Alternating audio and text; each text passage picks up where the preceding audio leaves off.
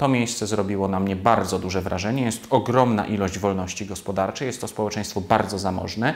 Wyspa jest mała, wszędzie jest blisko, jest naprawdę tam ładnie, pięknie, jest co robić w wolnym czasie, więc generalnie wierzę, że krypto jeszcze będzie do góry. Trzymam krypto. Yy, Złoto myślę, że długoterminowo też będzie rosło. Tak, t- ten trend od wielu dekad, który trwa, będzie zachowany, ale to oczywiście mniejszość portfela.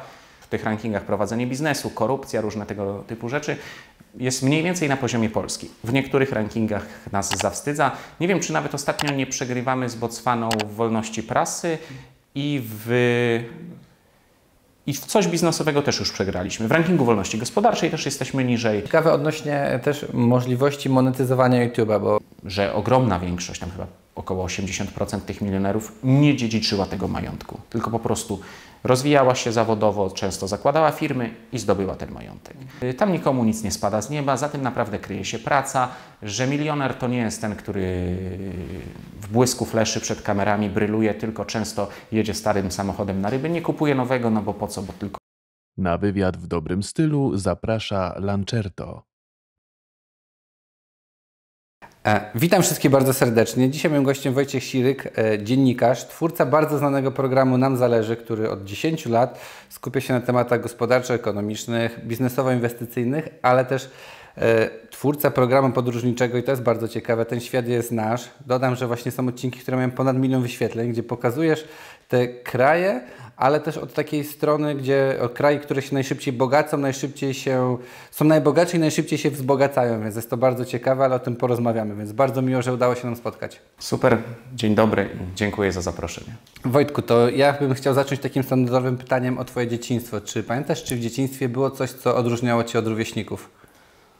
To jest standardowe, aż trudne pytanie, bo nigdy się nad tym szczerze mówiąc nie zastanawiałem. Wydaje mi się, to jest takie y, przemyślenie, które gdzieś tam pojawiło się kilka lat temu, że byłem trochę taki antyszkolny. W sensie, że ta wiedza tam serwowana nie przerastała mnie, ale mm, spokojnie byłem to w stanie y, pochłaniać, przyswajać itd., itd., ale to w ogóle nie było dla mnie atrakcyjne, kompletnie nie. Kiedy była potrzeba, to rzeczywiście potrafiłem się nauczyć, zdać to wszystko, co tam było wymagane. Z jednych przedmiotów byłem lepszy, tych bardziej ścisłych, może tam, nie wiem, z biologii czy jakichś humanistycznych gorszych, choć one były po prostu mniej pociągające, ale, ale też bez problemu yy, mogłem to zawsze, mogłem tego wszystkiego się nauczyć, acz kompletnie mnie to nie interesowało. Ani w szkole podstawowej, ani w gimnazjum. W szkole średniej to już wygasło całkowicie. Zahaczyłem studia publiczne, które rzuciłem po półtora roku, potem poszedłem na studia prywatne, tak żeby je zrobić.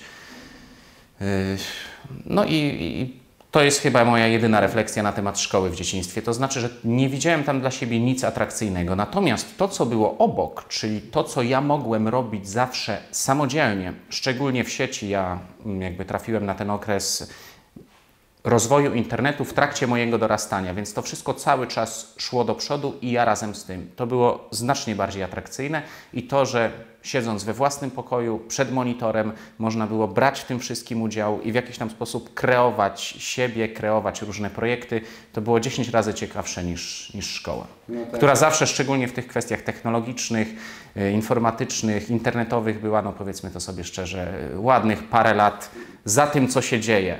Często te nauczycielki czy, czy, czy nauczyciele to były osoby po jakichś kursach, bo tam nie wiem, ktoś uczył techniki, no to jeszcze pouczy informatyki, a dzieciaki gdzieś tam 14-17-letnie już były pięć razy dalej z tym wszystkim. Tak, ja pamiętam te czasy, jak się miało komputer i tylko wracało z tej szkoły, żeby siąść i cośkolwiek w tym robić, także jasne. A powiedz mi, bo już Twój kanał nam zależy, ma ponad 10 lat i czy było coś wcześniej i w ogóle skąd taki pomysł na kanał, który jest jeden z najbardziej znanych teraz kanałów w Polsce?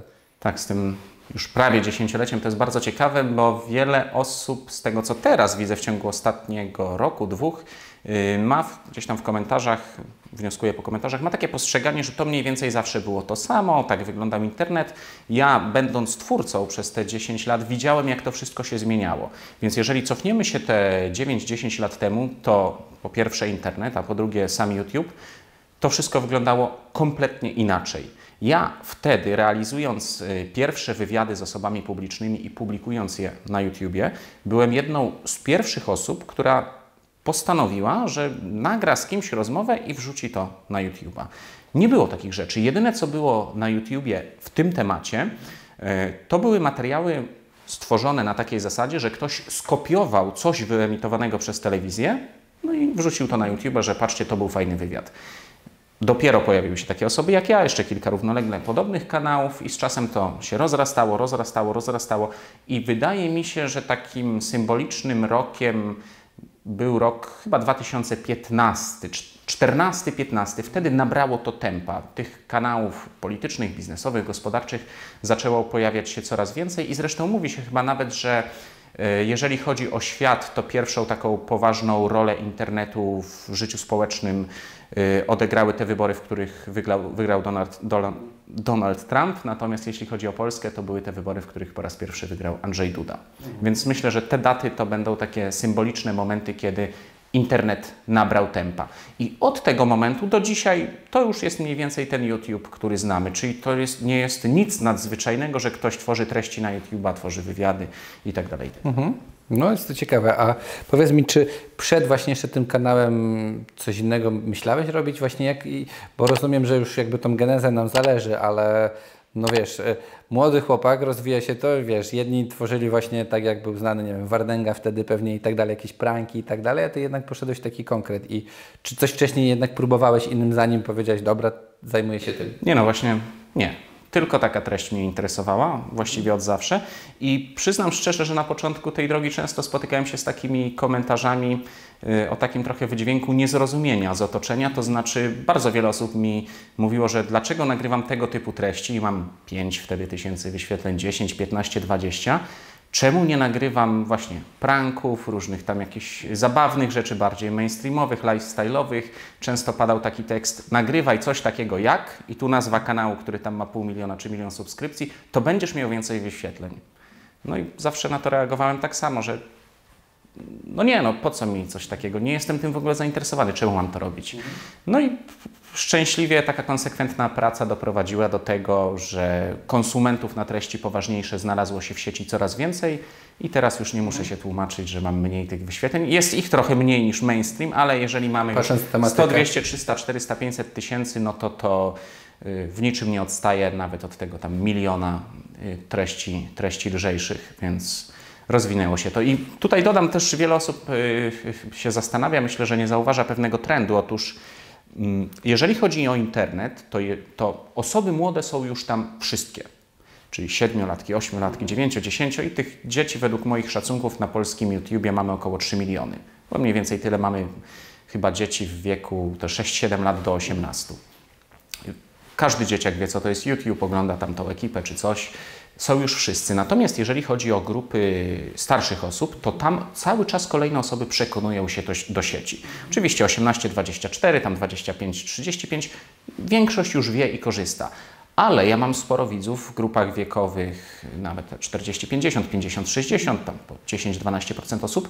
I ja wiem, że tam cały czas kolejne osoby są przekonywane przez wnuczka, przez syna, przez tam kogoś, bratanka, żeby jednak na, na internecie sobie to obejrzał, żeby posłuchał na tym YouTubie i tak dalej, i tak dalej. Także myślę, że jeżeli chodzi o treści poważniejsze, to jeszcze ten rynek się trochę będzie poszerzał w najbliższych latach. Do momentu, aż już każdy będzie wiedział, co to jest YouTube. Tak, no to jest y, racja i bardzo ciekawa wskazówka.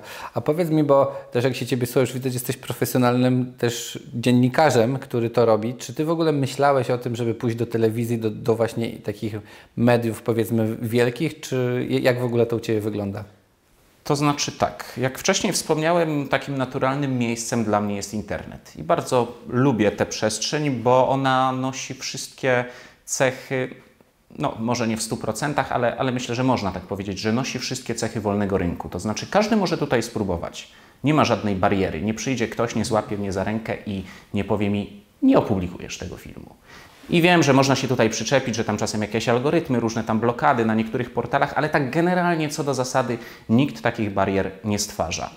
Yy, nie potrzebuje niczyjej zgody na to, żeby zacząć działać. Tymczasem w dużych mediach myślę, że taka kariera jak moja prawdopodobnie by się nie rozwinęła albo rozwinęłaby się znacznie później, bo nikt yy, nie wziąłby, ile miałem lat, kiedy wystartowałem z projektem podróżniczym, 25, kiedy wyruszyłem w pierwszą podróż. Nikt nie wziąłby 25-letniego chłopaka i nie powiedziałby mu, no, myślę, że ty się możesz rozwinąć. Teraz będziesz prowadził program podróżniczy o najbogatszych miejscach na świecie. Masz tutaj garnitur, jutro lecisz na zdjęcia do Hongkongu, bierz dwóch operatorów, dźwiękowca, nagrywacie to. To, się by nie, to by się nie wydarzyło. Najpierw bym potrzebował pewnie kilku lat takiego doświadczenia, kilku lat takiego doświadczenia, jakiś tam wyścig szczurów, konkurencja, pewnie jakaś nawet nieczysta i tak dalej. Różne rzeczy musiałyby się dać i gdzieś po 15 czy 20 latach może dorobiłbym się autorskiego programu. Tymczasem w sieci tak stwierdziłem, tak sobie wymarzyłem. Oczywiście to było wiele perypetii i trudności, ale w końcu się udało. I za to cenię internet. Ja nie mam nic przeciwko dużym mediom. Jeżeli na przykład jakaś telewizja chciałaby kupić mój program, nie ma problemu. Natomiast sieć jest świetna i myślę, że zostanę tu na, na długo, o ile nie na zawsze. Nie no, jest super. W ogóle to na pewno wielu widzów Ci zazdrości, już nie mówiąc o kanału, nam zależy widzów, ale tego co robisz, bo ten kanał podróżniczy, że zwiedzanie przede wszystkim, no to wiesz, to jest coś, co każdy by chciał, każdy marzy, wiesz, o jeden raz w roku o wakacjach, a, a Ty robisz to non-stop. I chciałem właśnie zapytać o ten, e, o, o kanał Ten Świat jest Nasz i w ogóle tym, czym się zajmujesz, jakby jak według Ciebie teraz będąc w wielu, wielu krajach, e, jak uważasz, który kraj dla Ciebie jest taki najbardziej biznesowy, który najszybciej się rzeczywiście rozwija biznesowo? No bo te Twoje podróże też są z takim kontekstem konkretnym.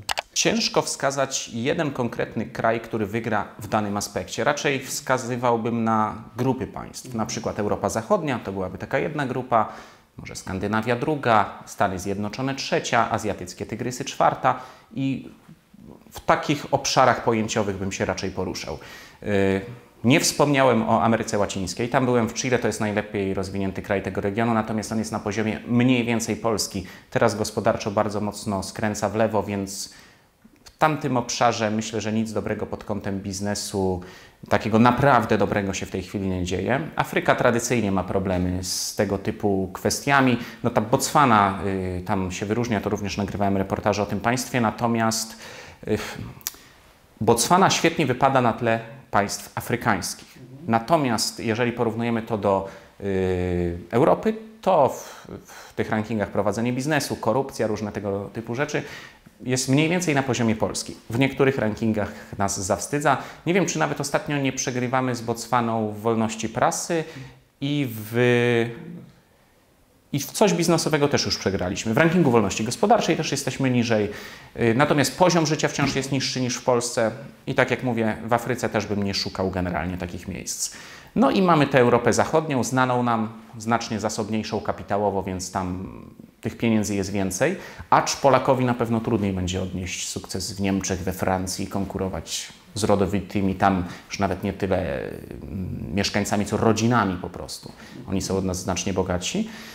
Więc myślę, że trzeba wybrać kraj bądź kraje, które cały czas prężnie się rozwijają i w których y, jednak trochę już pieniędzy jest. Czyli na przykład te azjatyckie tygrysy to jest bardzo ciekawy kierunek. No dobra, a jak ty wybierasz w ogóle te kierunki? Jak się do takiej przygotowujesz? Czy to jest tak, jak mówiłeś, trochę jakby to było w mediach, że dobra, ten kraj wybieram, bierzemy ekipę, lecimy. Jak w ogóle cała taka y, ta przygoda, żeby powstał odcinek? No bo to też jest dużo pracy, zanim, zanim powstanie taki, taki reportaż. Jeżeli chodzi o wybór państw, no to tutaj klucz doboru jest dosyć prosty. Po pierwsze, musi mieć to, być to miejsce bogate i najlepiej, żeby funkcjonowało w ciekawy sposób, czyli na przykład szybko się rozwijało, miało interesujące przepisy prawne, gospodarcze. Dobre, dobrze byłoby, gdyby było pełne wolności. Taka tematyka mnie po prostu przyciąga. To jest ba bardzo interesujące, bo to, że na przykład, to przede wszystkim tutaj nawiązuje do krajów Europy Zachodniej, one już od wielu pokoleń funkcjonują w ramach gospodarki względnie wolnorynkowej, w jednych krajach mniej, w drugiej bardziej i tamte społeczeństwa już akumulują kapitał od 4, 6, 8 pokoleń, to to, że one są bogate nie jest niczym wyjątkowym. No, 200 lat rozwoju każdy zdążyłby się wzbogacić. Natomiast to, że na Tajwanie, w Hongkongu, w Singapurze, w Korei Południowej pojawia się bogactwo i to naprawdę spore w ciągu zaledwie dwóch pokoleń, czyli powiedzmy od końca II wojny światowej do dzisiaj, to, że pojawiają się tam genialne firmy o zasięgu globalnym, to jest naprawdę interesujące, więc to w pierwszej kolejności wybieram tego typu państwa.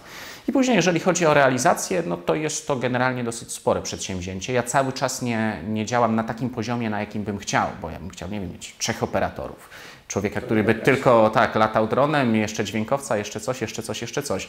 My na razie y, najwięcej, największy nasz zespół liczył cztery osoby na jednych zdjęciach. Tak generalnie wystarczą nam trzy, a od biedy, jeśli trzeba coś na szybko zrealizować, tak jak teraz byliśmy w Andorze, damy radę też, damy radę też we dwie, bo to, to we dwie zawsze zaczynaliśmy. Te pierwsze podróże były zawsze we dwie osoby. Yy, no i potem, tu wspomniałeś przed tym o tym, że yy, każdy zazdrości, bo to tam zwiedzanie. To nie do końca tak wygląda. Najlepiej myślę zobrazować to taką scenką, jeżeli ktoś jest turystą w danym miejscu i dane miejsce, dana lokalizacja wymaga po prostu zobaczenia. Jakaś, nie wiem, ładna zatoka, ładny budynek z zewnątrz, to taki turysta spędza tam 5 minut. 10 minut, jeżeli nie wiem, coś jest wewnątrz 15 minut. My natomiast w jednej lokalizacji czasami potrafimy spędzić i 2 godziny, 3 godziny, bo jeżeli ta lokalizacja świetnie się prezentuje i ja mogę tam coś powiedzieć do kamery, no to trzeba się przygotować, mikrofony, zrobić pewnie parę dubli, później, jeżeli jest tak ładna, no to trzeba zrobić te przebitki, coś nagrać do making offów i tak dalej, i tak dalej. I to jest wtedy żmudna praca 2-3 godziny. Zdarzyło mi się już, że przy jednej czy dwóch podróżach był z nami ktoś ekstra, kto po prostu chciał pojechać zobaczyć i mówił, że ja tam sobie będę na boku chodził, mną się nie przejmujcie, ale będę się z Wami trzymał. No i tak to wyglądało, że my tam pracujemy, pracujemy, pracujemy, a ktoś stoi i no już poszedłby dalej. A nie pójdzie, bo nie ma z kim, nie ma gdzie, głupio samemu chodzić gdzieś tam w obcym kraju i czekać trzeba. No dobra, a jak powiedziałeś już trochę o tych krajach, to mimo wszystko jakbyś Ty dzisiaj miał gdzieś założyć biznes na świecie, mówisz o tych o wszystkim, patrząc gospodarkę, przepisy, to jaki to byłby kraj? Jakbyś miał jeden wybrać? E, to dodajmy taką poprawkę do tego pytania, że byłbym e, jakby rodowitym mieszkańcem tego kraju. Mhm. Bo jeżeli nie jestem, no to od razu jestem niżej w tej hierarchii, będzie mi trudniej, nie znam rynku, nie znam języka, nie znam kultury. Wydaje mi się, że świetnie żyje się na Tajwanie. To miejsce zrobiło na mnie bardzo duże wrażenie. Jest ogromna ilość wolności gospodarczej, jest to społeczeństwo bardzo zamożne. Wyspa jest mała, wszędzie jest blisko, jest naprawdę tam ładnie, pięknie, jest co robić w wolnym czasie, więc myślę, że można i popracować, i możliwości są wielkie, i jest tam też co robić. To myślę taki, taki nietypowy kierunek. Lubię zaskakiwać taką no, odpowiedzią, bo każdy, się, że bieda i tak dalej. Każdy y, pewnie myśli, że tam, nie wiem, Stany Zjednoczone, to też pewnie, ale to miejsce na, zrobiło na mnie naprawdę ogromne wrażenie i i do życia, i do rozwoju biznesowego myślę, że jak najbardziej. No dobra, a z drugiej strony, czyli powiedzieliśmy o tych rodowitych, gdzie ludzie mają najlepiej de facto do życia, do prowadzenia biznesu, ale teraz jakbym Ciebie miał zapytać dzisiaj Ty, jakbyś miał Ty wybrać sobie jakiś kraj po Twoich podróżach, to jednak co? Zostaje to ta Polska, czy jednak jest jakiś taki... Zostaje Polska oczywiście ze względów sentymentalnych, rodzinnych, po prostu jestem stąd, znam ten język, tę kulturę i tak dalej, i tak dalej, tu się, tu się świetnie czuję. Natomiast gdybym nie mógł mieszkać w Polsce, gdybym E, musiał wybrać jakieś inne miejsce, to albo byłaby to jakaś ciepła wyspa, gdzie mógłbym pracować zdalnie i już nie interesowałby mnie system gospodarczy, jakaś Majorka czy Teneryfa, coś tego typu. A jeżeli byłaby taka kolejna poprawka, że nie możesz zwracać uwagi na pogodę, macie interesować właśnie system gospodarczy e, i, i to w jakich e, w jakim otoczeniu biznesowo-prawnym czujesz się najlepiej, to myślę, że wybrałbym właśnie azjatyckie tygrysy. Bo tak jak mówię, wysoki poziom życia, jednocześnie duża dawka wolności, wciąż wielkie perspektywy i, i na tyle na mnie zrobiły y, wrażenie te miejsca, te miejsca wrażenie, że, że chętnie bym tam pomieszkał. Ja jestem też bardzo ciekawy tych podróży, bo bardzo się też profesjonalizujesz. To tak jak mówi, mówiłeś, że miałeś dwie, są też osoby cztery, ale są też podróże VR. I teraz to jest moje takie pytanie, czy rzeczywiście ludzie to oglądają, bo różnie się o tym mówi, że jeszcze jest za wcześnie, nie każdy jest przygotowany. Jak to jest u Ciebie właśnie z perspektywy jakiegoś czasu, takiego może pilota testu, tak? Bardzo lubię ten temat e, rzeczywistości wirtualnej, chociaż jeżeli chodzi o te normalne odcinki programu Ten Świat jest Nasz, no to one mają już w tej chwili na YouTubie średnią chyba ponad 300 tysięcy odsłon na odcinek. Natomiast te odcinki VR, czyli takie bonusowe, dodatkowe, ja je teraz sprzedaję w formie fizycznej na pendrive, y, no to myślę, że je obejrzało jakieś 300 osób, więc znacznie mniej. Natomiast mimo wszystko, po pierwsze, bardzo lubię tę technologię, po drugie, wiem, że ona będzie się rozwijała, więc kontynuuję ten projekt. Teraz nagrywam kolejny sezon i oczywiście na boku też nagrywam te odcinki w rzeczywistości wirtualnej. Z rzeczywistością wirtualną jest taki, nazwijmy to, problem, że mm, bardzo trudno przekonać kogoś, że to jest fajne, dopóki nie ubierzemy mu gogli VR na głowę. Możemy tutaj teraz opowiadać o VR-ze 15 minut. Możemy zachwalać i, i po prostu zachowywać się tak, jakby to było coś najcudowniejszego na świecie, ale i tak ogromna większość, ja mówię to z doświadczenia, bo już promowałem to wielokrotnie, zareaguje taką neutralnością, no o czymś tam mówią, Po? Fajnie, no okej, no fajnie, fajnie, coś tam sobie wymyślił, no okej, kiedyś może zobaczę. Natomiast, i to już prze, przepraktykowałem, nie skłamię na kilkuset osobach, bo miałem też e, drobny biznes e, związany z VR-em.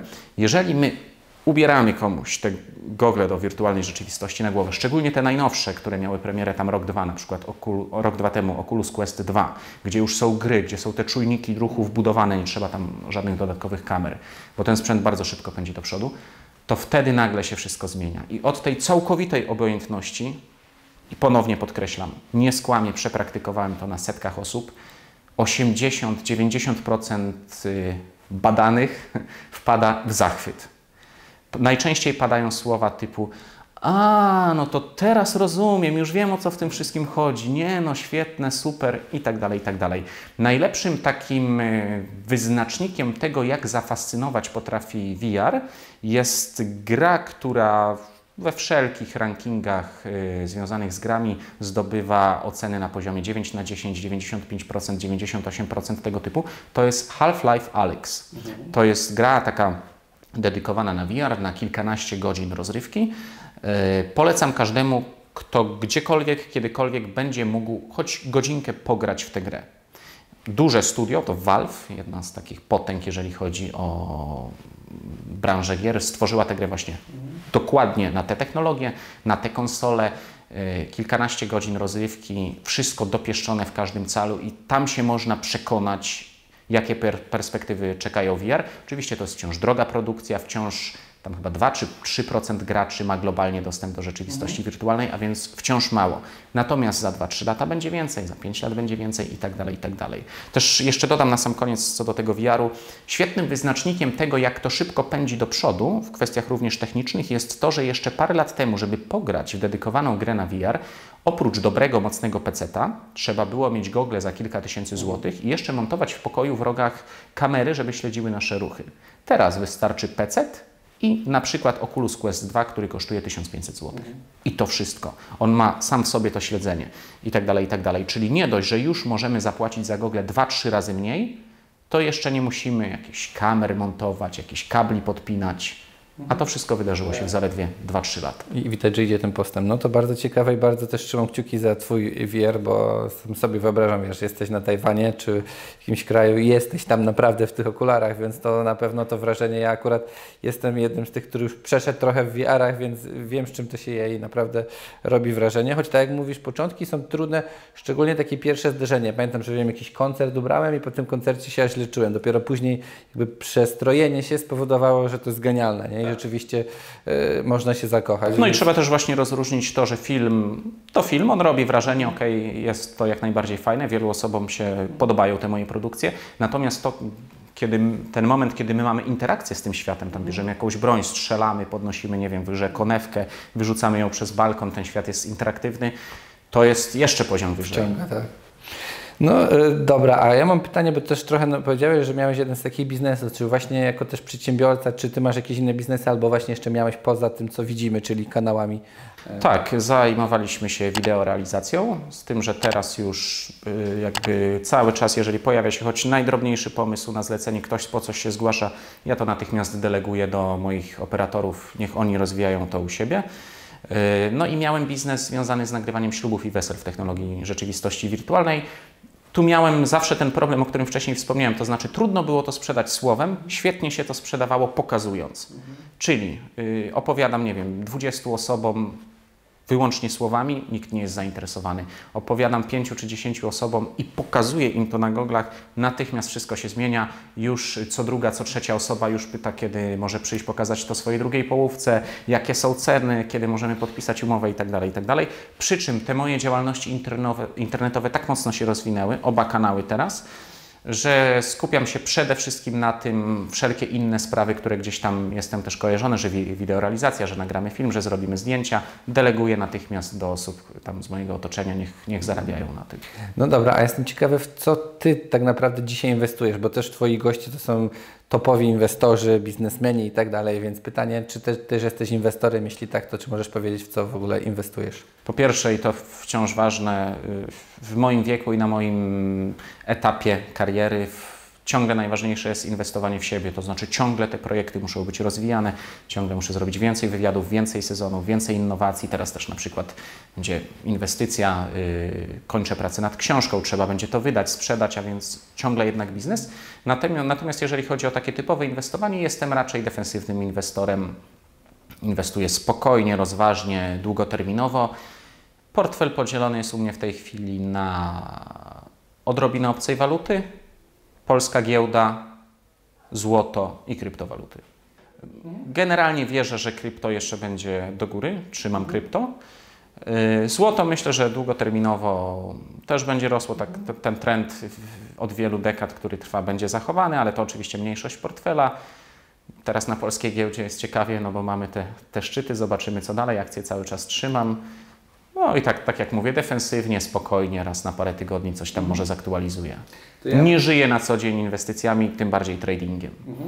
No dobra, a jestem ciekawy odnośnie też możliwości monetyzowania YouTube'a, bo jakby każdy też o tym pyta, dużo osób właśnie tak e, dzisiaj chce założyć swój kanał, myśli, że to jest tak łatwo, że wiesz, w miesiąc będą milionerami i tak dalej. Jak Ty w ogóle to widzisz na dzień dzisiejszy, jakie są możliwości monetyzowania kanału? Już często z perspektywy jednej, takiej jak Ty, jesteś już naprawdę potężnym kanałem, ale też być może początkującym. Y, to znaczy tak, zacznę może od tego, że bardzo dziękuję wszystkim widzom, którzy szczególnie w pierwszych latach wspomagali finansowo kanał.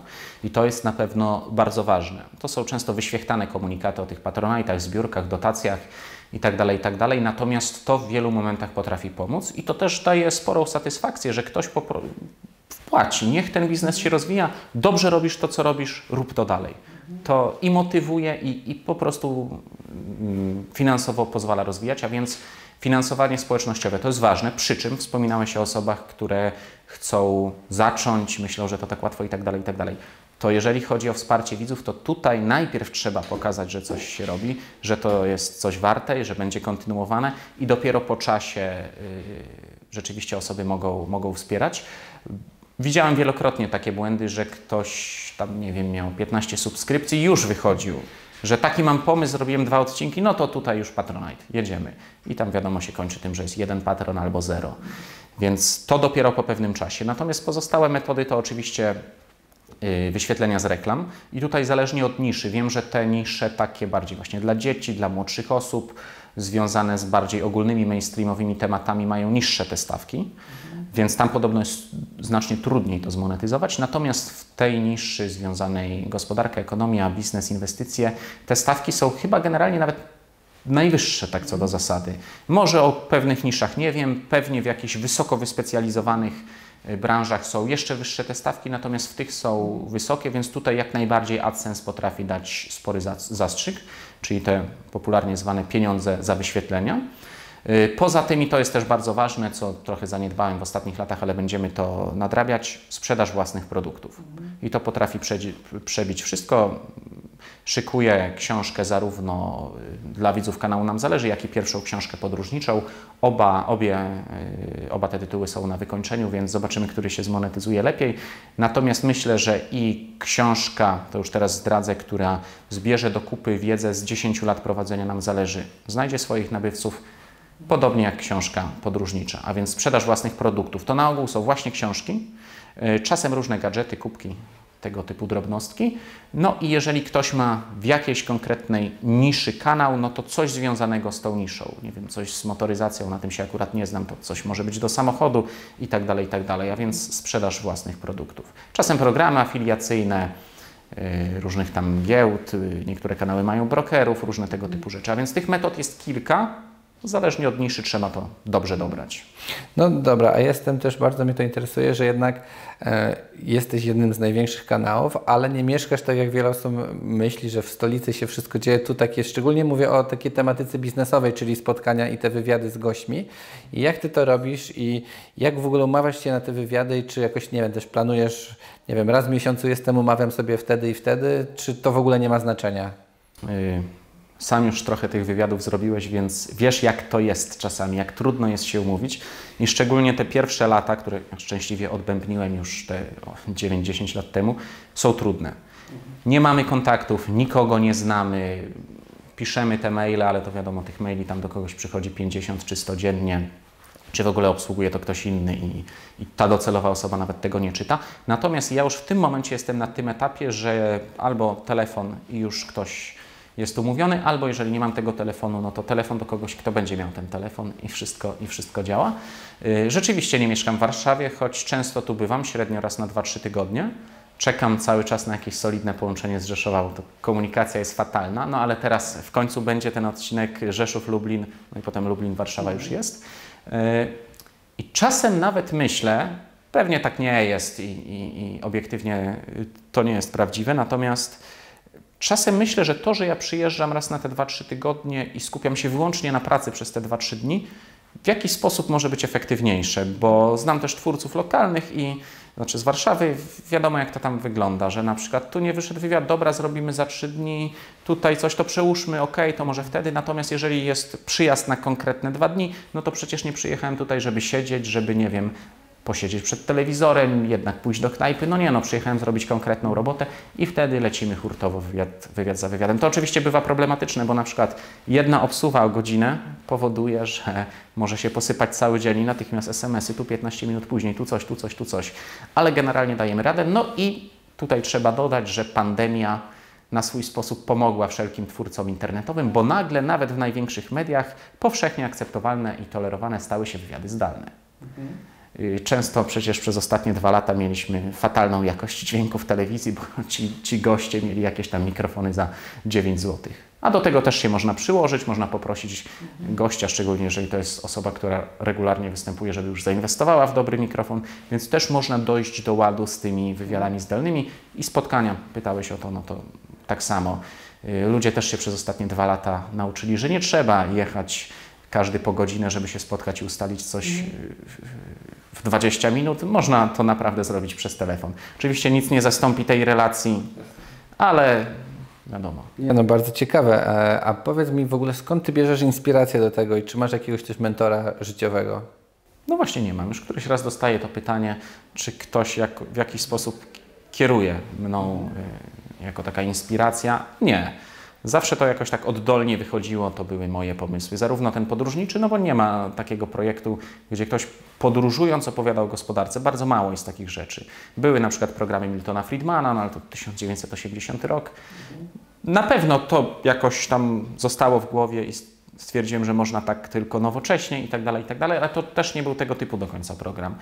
No i podobnie z wywiadami, chociaż to też ciężko mówić o inspiracji, no bo to wywiady teraz robi tyle kanałów i to jest forma znana ludzkości już chyba, nie wiem, od setek lat, mm. więc od 200 na pewno, radio, telewizja i tak dalej, prasa. Yy, nie ma, nie ma takiej osoby. Mhm. No dobra, a ja mam jeszcze takie bardzo ciekawe pytanie, y, też standardowe o porażkę, bo jedni mówią, że porażka przybliża nas do sukcesu. Czy ty może masz jakąś taką porażkę, która cały czas ci siedzi w głowie, coś może podczas kręcenia, może podczas jakiejś rozmowy z gościem, jakaś sytuacja, albo taka, która z perspektywy czasu miło wspominasz, że jednak się teraz już z czasem śmiejesz? To też jest interesujący wątek w tej mojej karierze, nazwijmy to ponownie. Y, otóż jest to tyle ciekawe, że ja sporą część, szczególnie tej drogi do realizacji programu podróżniczego, mam uwiecznioną w formie filmu. W wielu miejscach, w których byłem, y, nagrywałem sobie na boku kamerką sportową. Myślę, że kiedyś znajdę czas, żeby w końcu usystematyzować tę wiedzę i opublikować taki półgodzinny, może godzinny film, gdzie prezentuję kilka lat mojego życia i jak to się stało, że od nie pamiętam, stanu konta chyba 8 czy 9 tysięcy złotych. Doszedłem do tego, gdzie jestem teraz i mam program podróżniczy, realizujemy to i tak dalej, i tak dalej. Bo było to pełne porażek. Ta droga podróżnicza szczególnie trwała już no, 4-5 lat. Trwa. E, I ta moja opowieść będzie się o tyle różniła od wszelkich innych opowieści, że najczęściej to jest tak, że ktoś siada, mówi, jak mu było trudno, i tam wszyscy mówią, no rzeczywiście super, że to robisz, a ja usiądę, opowiem o tym, jednocześnie pokażę mnóstwo y, filmu z tych czasów. Mam na przykład filmy z mojej emigracji do Szkocji, gdzie wyleciałem, żeby zarobić pieniądze na program. Mam filmy z każdych zdjęć, z tych zepsutych, z tych dobrych, ze wszystkiego. Y, mnóstwo fotografii, więc na pewno będzie to solidnie udokumentowane. Nie było na tej ścieżce jednej porażki, która, nie wiem, coś przestawiła w głowie i nagle wszystko było inaczej i tak dalej, i tak dalej. Natomiast było mnóstwo drobnych porażek. Naprawdę mnóstwo problemów, trudności, od błahych, typu, nie wiem, poparzyło mnie słońce w Chile, zmarnowanych parę dni, coś się popsuło z mikrofonem, y, na jakiś wyjazd się nie zdążyłem przygotować.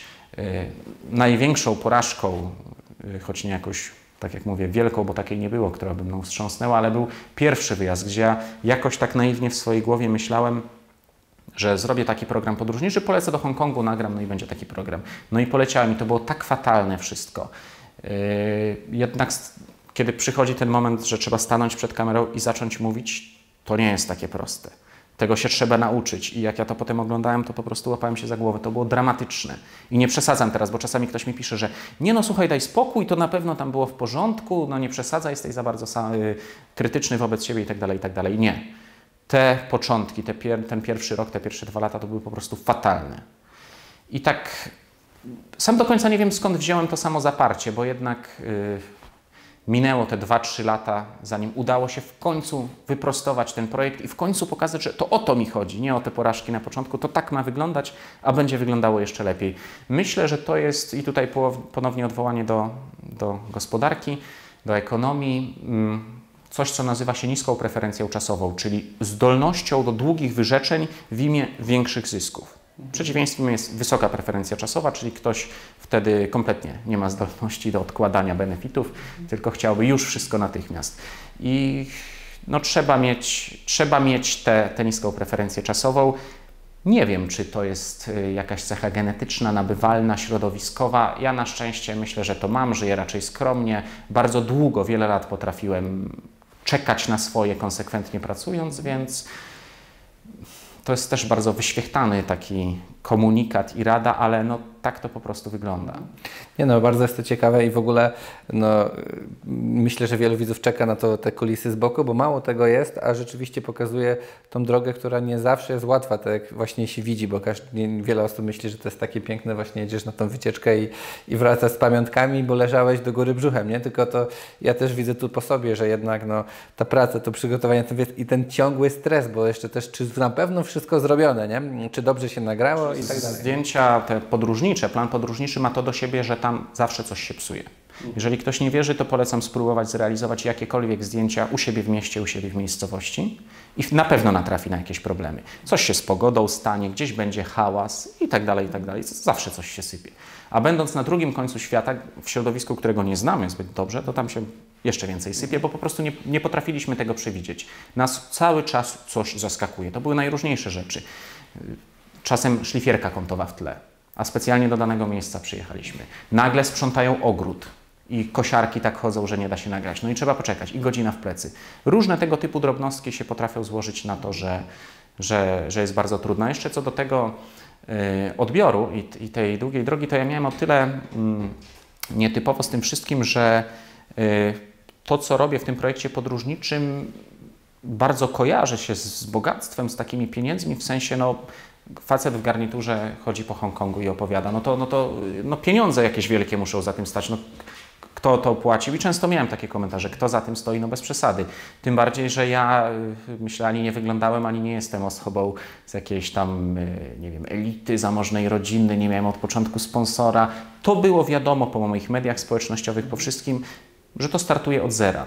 I to budziło takie komentarze, więc kiedyś powstanie ten materiał, który będzie taki bardzo mocno kontrastowy. Z jednej strony imponujący projekt, najbogatsze miejsca świata, garnitur i podróże po całym świecie, a z drugiej strony cała ta ścieżka będzie, będzie udokumentowana. Też wielkie gratulacje, bo naprawdę zrobisz dobrą robotę. I prawie kończąc mam pytanie też takie standardowe, ulubioną książkę. Czy jest jakaś książka, którą Ty chciałbyś się podzielić z widzami? Nie wiem, czy ulubiona, natomiast y, myślę, że polecę każdemu książkę, którą czytałem już ładnych parę lat temu, nie pamiętam ile, 6, 7, 5, coś tego typu. Książka dosyć popularna w tym środowisku. Sekrety amerykańskich milionerów. Y, otóż ta książka tak w dużym skrócie pokazuje, że nie ma żadnych sekretów, to trochę to, o czym wcześniej rozmawialiśmy. Natomiast autorzy przez chyba ładnych parę lat, przepraszam, że nie pamiętam tych danych, już trochę temu to czytałem, ankietowali amerykańskich milionerów. Więc to, co jest w tej książce, to nie są informacje na zasadzie ktoś z kimś porozmawiał i stworzył na, na tej podstawie książkę, to nie są subiektywne odczucia, to są dane najczęściej. I wychodzą różne ciekawe rzeczy typu, yy, że ogromna większość, tam chyba około 80% tych milionerów nie dziedziczyła tego majątku, tylko po prostu rozwijała się zawodowo, często zakładała firmy i zdobyła ten majątek. Że bardzo duża część tych, tych milionerów amerykańskich żyje bardzo skromnie, jeździ starymi samochodami. A więc yy, i tak naprawdę ta książka jest na całej swojej przestrzeni bardzo podobna do siebie. To znaczy, czytając ją miałem wrażenie, że to można by skrócić do 50 stron, to znaczy szybko wypisać te dane. Natomiast kiedy my tak przeczytamy, już nie pamiętam, to chyba 200 stron, to cały czas utrwala nam się w głowie na kolej, z każdą kolejną stroną, że w sumie ciągle wychodzi na to, że tam nikomu nic nie spada z nieba, za tym naprawdę kryje się praca, że milioner to nie jest ten, który w błysku fleszy przed kamerami bryluje, tylko często jedzie starym samochodem na ryby, nie kupuje nowego, no bo po co, bo tylko ubrudzi wiaderkami czy wędkami y, ten nowy samochód, więc to jest bez sensu takie coś kupować. I to fajnie przestawia w głowie pewien taki przełącznik, że no nie po co, złoto, co się co? świeci. Tak, no, nie, ma, nie ma potrzeby y, eksponowania tych pieniędzy, mhm. jeśli się je ma. Mhm. Myślę, że my też, to, to jest też taka moja obserwacja, y, że czasem się tak mówi, że jeżeli ktoś wyszedł z biedy, na przykład to w pierwszym pokoleniu, musi to pokazać i tak dalej, i tak dalej. I myślę, że my też jako społeczeństwo polskie powoli zbliżamy się do tego coraz bardziej, że no po co to pokazywać? Po co się tak zachowywać? Już jest coraz więcej osób, które mają bardzo dużo pieniędzy i tego nie eksponują. Myślę, że w kolejnym pokoleniu będzie więcej, więcej, więcej i dojdziemy do takich bardziej zachodnich standardów, że a odejdziemy od standardów rosyjskich czy, czy, czy takich wschodnich, że tam ten zegarek, y, Łańcuch. tynk się sypie w domu od wewnątrz, ale samochód drogi musi być na podjeździe. Tak, to prawda. E, Wojtku, czy jest jeszcze coś, co chciałbyś przekazać naszym widzom?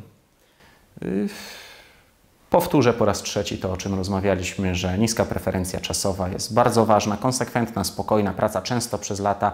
Niestety, bardzo wiele osób polegnie na tym, że nie jest w stanie robić czegoś tak długo, być może z przyczyn obiektywnych. Nie może sobie na to pozwolić finansowo, rodzinnie. No niestety, to świat nie jest idealny, ale bardzo wiele osób nie jest w stanie te kilka lat popracować do momentu, aż to zacznie przynosić efekty. Mimo wszystko uważam, że warto do tego dążyć albo po godzinach, ale albo y, full time, czyli cały czas, y, ale trzeba to robić. Trzeba, jeżeli chcemy osiągnąć ten sukces, bo jeżeli nie, jeżeli chcemy zostać na poziomie etatu, no to przecież możemy otworzyć Excela, wpisać nasze zarobki, rozciągnąć to na x wierszy i tam co jakiś czas tylko dodać po 5, po 7, po 10%, no bo wiadomo, one pewnie będą się zwiększać. No i możemy sobie całe życie wtedy policzyć finansowo. Więc jeżeli chcemy, żeby te zarobki rosły nieliniowo, żeby nagle był jakiś skok, no to własny projekt, własna firma, własna inicjatywa i wtedy nic nas nie ogranicza, no bo jednak na etacie zawsze jakiś sufit jest. Wojtku, ja Ci w ogóle dziękuję za e, Twój czas. Bardzo Ci życzę dalszych, dalszych sukcesów. Będziemy oglądać, śledzić te podróże. Mam nadzieję, że w tych VR-ach będzie coraz więcej. Rzeczywiście za parę lat, jak się spotkamy, to prawie każdy będzie już miał do czynienia, tak jak mówi, że rośnie ta e, liczba tych starszych osób, które dołączają. Tak samo mam nadzieję, że będzie też lawinowy wystrzał tych ludzi, bo robi świetną robotę. No i życzę Ci dalszych sukcesów, żebyś też mógł dalej kontynuować, osiągać sukces, żebyśmy mogli się spotkać i albo w tym kraju, albo w innym, ale tylko w innym na wakacjach. Także miejmy nadzieję, że w tym i że będzie coraz lepiej. Trochę sam nie wierzę w to, co mówię, ale miejmy nadzieję, że tak będzie. Wszystkiego dobrego. Dzięki. Dziękuję. Dzięki.